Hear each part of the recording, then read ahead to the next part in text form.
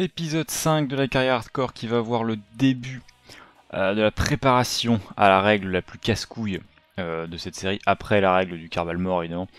Euh, le fait que passer le niveau 1 du bâtiment de recherche, donc dès que je l'upgrade au moins au niveau 2, je dois avoir un premier étage réutilisable ou, très important, au SRB, très important pour plus tard mais très important comme règle, parce que quand je vais en avoir marre, globalement, il va y avoir des RCB partout. Donc on va commencer par euh, prendre le lanceur qu'on a actuellement et faire, enfin essayer, le mot le plus important de la phrase c'est essayer, de faire un lanceur réutilisable. Truc très important à savoir avec des lanceurs réutilisables, il y a un point extrêmement important auquel on pense pas tout de suite, on pense beaucoup premier étage qui doit revenir machin. Le rapport poids poussé du deuxième étage est quelque chose qui est extrêmement important.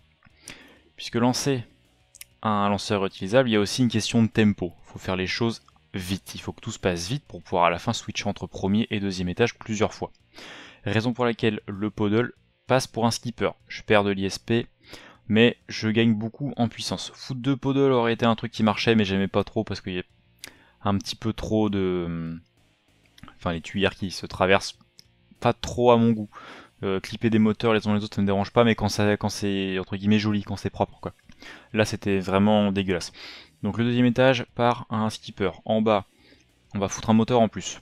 Parce que globalement là il va falloir déplacer plus de masse, il hein. n'y a pas de secret, il va falloir plus de carburant. Ensuite, euh, le RPP en bas à droite, très important, rapport poids poussé du premier étage, 1,27 si je ne me trompe pas actuellement. Il en faut plus, enfin, plus, il en faut moins pour avoir plus de carburant. Donc je monte le carbu du premier étage euh, le plus possible, globalement 1,11.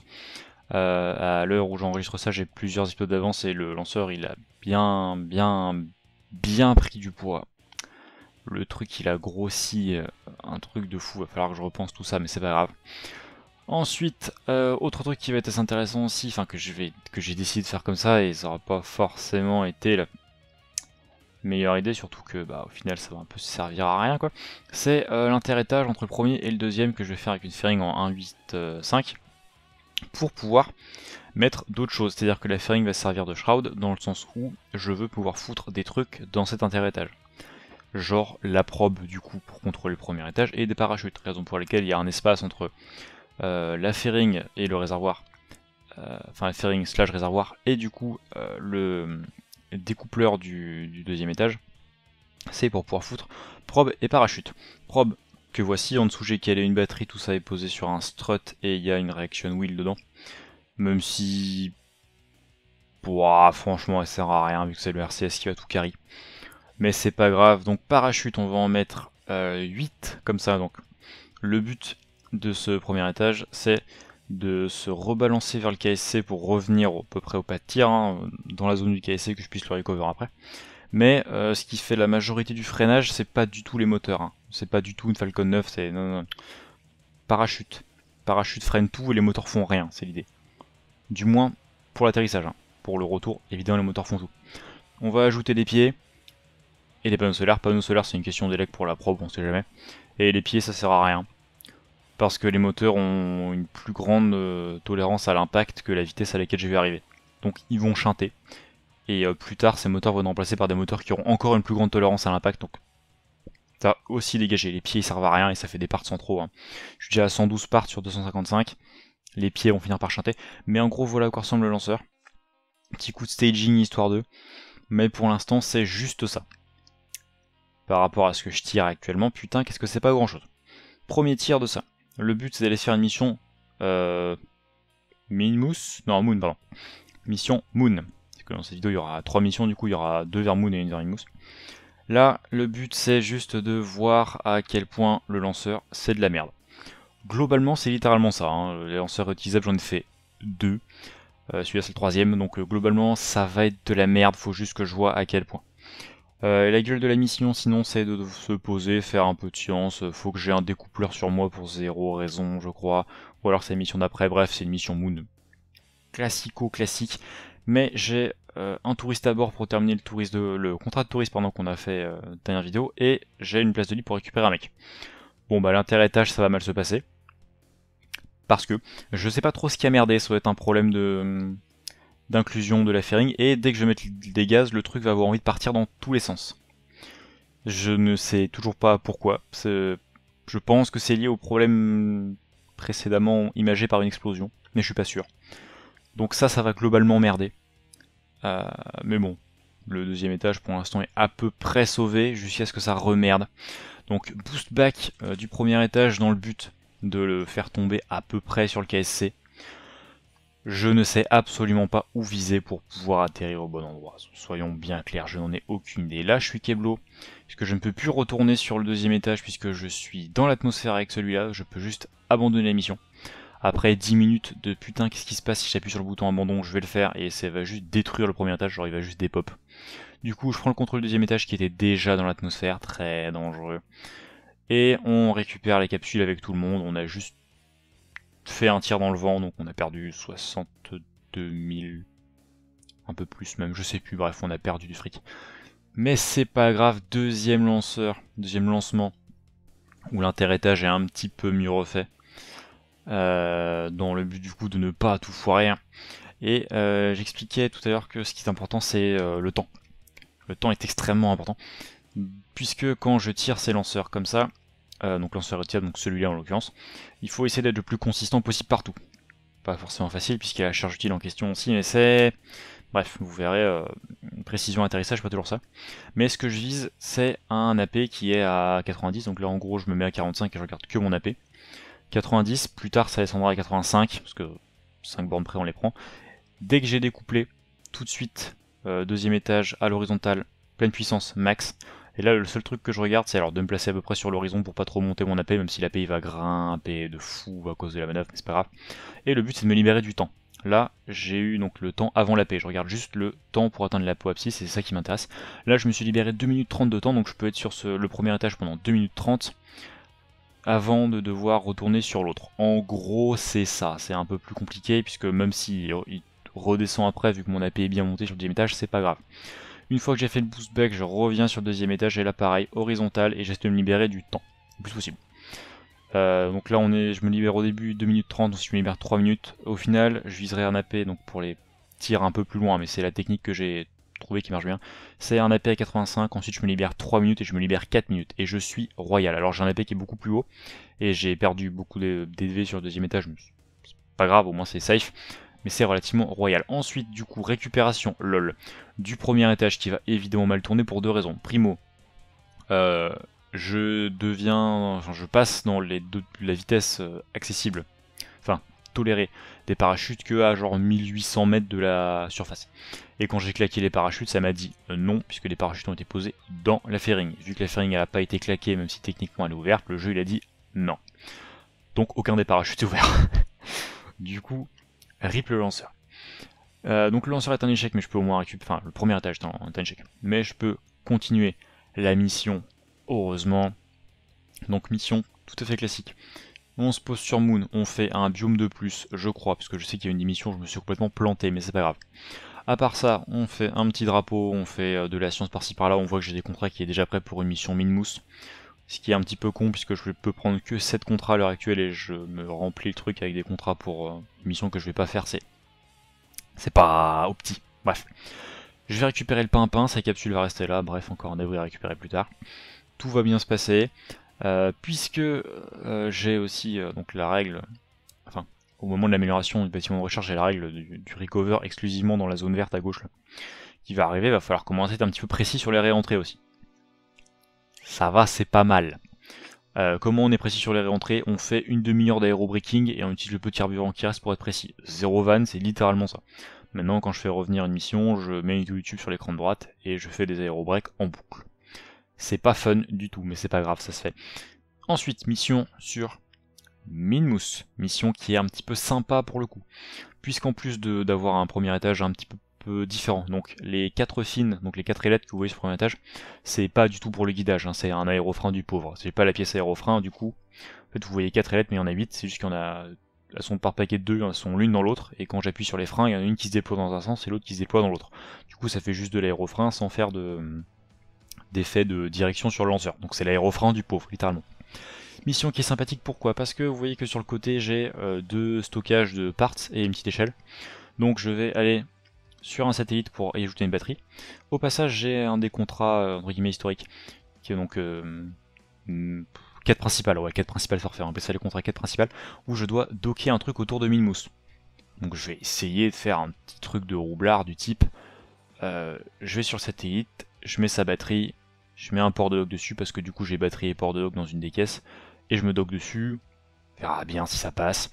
Pendant ce temps-là, le lanceur, on va essayer de le faire revenir comme on peut, hein, parce que déjà on a lancé à 3 degrés dans un sens, donc forcément le boost back il est un petit peu bancal le bordel, mais c'est pas grave.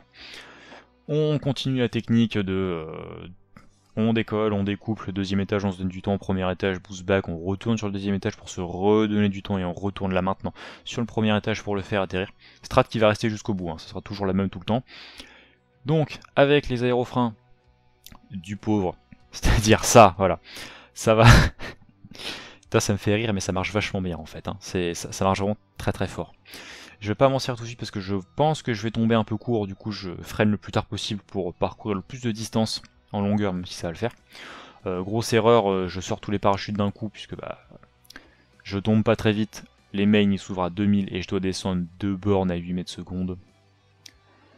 Ça va être si long, mais c'est pas grave, ça va descendre. Je vais me poser sur les pieds sans trop de problèmes. Je suis en train de redescendre ici, mais c'est pas grave, on termine l'orbite. Après ça, on va directement aller sur Minmousse, sur lequel je vais sur laquelle pardon, je vais poser ce truc. Pourquoi? Alors dernier épisode j'avais levé le plingé, j'avais débloqué ces trois parties là, parce que bâtiment de recherche j'avais là, on en a trois, c'est donc ça, celui que je viens de poser, qui est le bâtiment de base, qui est le cerveau de tout ça, enfin le bâtiment, l'objet déployable de base, le cerveau. Euh, le panneau solaire pour l'élec, raison pour laquelle il fallait un ingé qui soit level up, parce que le level de l'ingé définit la quantité d'élec que sort le truc. Et un ingé level 1, ça sort un d'élec, sauf qu'il m'en fallait deux. Bon là, l'ingé, il est... Non. Un ingé level 1, un ingé level 0, on sort 1. 2 sans... sans... Ah, je me suis perdu. Bref, vous m'avez compris, un G level 0 c'est un délec, et puis à chaque level qu'il prend c'est un délec en plus. Donc là il sort 3 délecs alors qu'il m'en faut que 2. Pas grave. J'ai un contrôle, je dois récupérer 50% de la science d'un mystère d'égout. Donc je vais tout poser, je vais time warp, et dès que je vais passer les 50, ça va transmettre. Parce que ça fait 10% ça transmet, 10% ça transmet, 10% ça transmet, et il m'en fallait 50. Donc ça va être fait vite fait. Euh, rien de spécial, petit contrat facile qui valait quand même pas mal d'oseille. Ensuite, je vais aller donc sur le fameux euh, satellite. On va positionner Bill sur l'échelle, on va le préparer à faire son petit euh, travail du type Michel il a oublié une part à l'assemblage, on le rajoute. Pendant la batterie, donc le contrat il est bon. Ensuite, je vais essayer de mettre le port de dock, mais je vais pas y arriver. Par contre, je vais remarquer qu'il y a un, euh, gravio, un gravioli machin en dessous, donc un truc qui mesure la gravité, qui est une part qu'on ne débloque qu'avec un euh, centre de recherche level 2, peut-être level 3, je sais même plus. Mais c'est une part que j'ai pas du tout. Donc, déjà, j'ai mis mon port de dock, je vais me docker dessus parce que, bah, pour tester quoi. Ça va totalement marcher, donc le contrat il est validé MDR, c'est du vol mais c'est pas grave, et euh, l'expérience gravioli, là je peux m'en servir. Donc je vais euh, claquer des graviolis un peu partout en orbite de mousse. C'est de la science gratuite, ça fait plaisir, on va pas cracher dans la soupe, hein. le truc il est comme ça, il est gratuit. On prend donc un bon bonus de science tout à fait gratos. Ensuite, retour, pareil, à peu près précis. Dans la zone, ça me va. Là, techniquement, une fois que j'ai amélioré le, le truc, ici, il faut que j'envoie un hélicoptère, un bateau, bref, il faut que j'envoie un truc pour récupérer les capsules. Mais c'est pas grave, ça, c'est travail pour plus tard c'est déjà prévu et ça va le faire. Mais ensuite récupération du premier étage, 64 000 balles. Quand même une bonne partie ça doit être les Bobcats parce qu'il y en a beaucoup, c'est pas grave. Euh, le deuxième étage d'ailleurs, plutôt que de les laisser en orbite euh, quelque part entre Carbine et ma destination, je vais essayer de mettre une petite probe euh, dedans, donc il y a une petite probe, une petite eau de réaction, un tout petit réservoir, donc le plus petit possible que j'ai chopé, ça va être un baguette je crois, qui est verrouillé de base, donc j'ai jusqu'après, une fois que la mission est terminée, à aller dessus, reprendre le contrôle, déverrouiller le carburant du baguette et freiner. Et ne surtout pas rester sur le truc parce que là du coup si j'avais euh, upgrade le bâtiment je devais aller littéralement au bout de la planète parce qu'on est sur un biome Badlands donc c'est littéralement le bout pour euh, récupérer cette merde et le ramener au KSC. Donc ça aurait été un bordel monstre. Donc quand vous faites ça, euh, vous freinez votre étage, vous retournez sur la training station et vous le regardez dépop. Puisque du coup quand il touche au sol il va juste dépop, il n'y a pas de fils qui, est généré, il n'y a pas de problème pour avoir éventuellement des parts qui restent. Ensuite, mission sur Moon. Ça va se passer à peu près comme prévu pour la récupération. Je skip toute la manœuvre, hein, globalement. Le seul truc qui est bon à savoir maintenant, c'est euh, où va atterrir le premier étage. Spoiler alerte, beaucoup trop loin. Mais euh, on va quand même faire un truc qui va être un bon technique de base pour la suite, c'est-à-dire que je sors les, euh, les comme ça, et j'attends d'être très bas pour popper les mains. C'est-à-dire qu'ils mettent 200 mètres à s'ouvrir entre le moment où je suis sur espace pour déclencher stage et le moment où ils sont complètement ouverts, il y a 200 euh, mètres. Donc oui, il va y avoir des ouvertures à 300 mètres quand j'aurai pas le temps d'aller récupérer le deuxième étage, c'est un détail. Ensuite, donc arrivé sur Moon, euh, j'ai eu un contrat, enfin je vais avoir des nouveaux contrats que j'ai commencé à faire qui sont très sympas, qu'on a vu vite fait sur la scène précédente dans le, coin, qui est un contrat où je dois faire une station ou une base, là c'est une station autour de Moon, donc je dois faire une station en orbite de Moon, station qui doit avoir une antenne, un docking port, générer des lecs, donc une antenne, un docking port, un panneau solaire probablement, et euh, là il me demande d'avoir 5 places, raison pour laquelle j'ai un fuselage marque 1 en dessous, comme ça j'arrive à 5 places, et du coup fuselage marque 1, bah, plutôt que de le balader euh, à vide, bah, j'ai mis deux touristes dedans, parce que ça fait 80 000 balles de plus. Ensuite j'ai aussi le contrat où je dois déployer ça, pour récupérer encore une fois 50% de la science. Euh, spoiler alert, quand vous posez ce truc là sur Moon, faites bien gaffe de pouvoir avoir un visu sur Carbine. Puisque la lune tourne au même rate euh, sur elle-même qu'elle ne tourne autour de Carbine, donc en fait c'est toujours la même face qui fait face à Carbine. Donc si vous le foutez dans un cratère qui est un endroit où on peut pas voir Carbine, bah, globalement vous aurez jamais de, de com. Du coup la science elle sera, elle sera récupérée mais elle partira jamais. Donc oui c'est exactement ce qui s'est passé mais c'est pas grave. Euh, au final, dans un time warp plus tard, euh, je sais pas pourquoi, il va y avoir un élément, ça va le faire. Ensuite, pour récupérer donc euh, ces deux capsules, parce que je vais pas tout récupérer d'un bloc, je vais les séparer en deux. Alors pourquoi? Je sais pas, je trouvais que c'était une bonne idée à l'époque. Au final, j'ai gardé le système. Mais en gros, je le drop shoot pour ralentir. Ensuite, je saute des capsules, enfin des parachutes de la, du fuselage Mark 1. Je sépare les deux, comme ça je sais que j'ai un petit peu de séparation latérale entre les deux. Je pose le premier. Et là, je vais donc regarder le deuxième atterrir. Et donc j'ai ton timer x4 juste avant, je vais donc retimer pour mettre en x4. Et rip.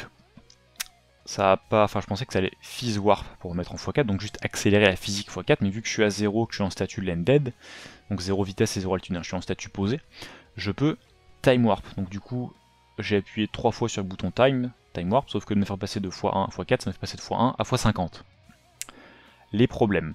Mais euh, la save ne s'arrête pas là, parce que, donc, après c'est erreur à la con globalement, vu que j'avais une très grosse flemme de recommencer, j'ai fait une petite vidéo qui est en nom répertoriée sur la chaîne et que vous ne verrez pas, parce qu'elle est en privé maintenant, que j'ai envoyé au membre du Discord, où globalement j'expliquais ce qui s'était passé, et je leur demandais de voter sur est-ce que euh, règle du Carval mort et euh, tant pis je recommence, ou est-ce que ah si c'est un truc à la con, ça passe et on continue la save. Donc on va continuer la save. Fin de l'épisode 5. 3 millions en banque. Ça c'est sympathique, et pas mal de science en rab aussi.